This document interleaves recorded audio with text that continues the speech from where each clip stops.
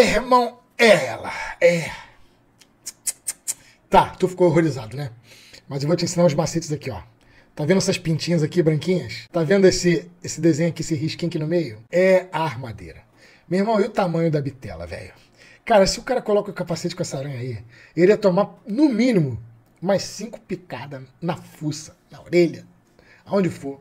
Ia chorar de dor, até ele tirar, porque ele ia esmagar a aranha, claro. Até ele tirar, velho, ele tomou muita picada.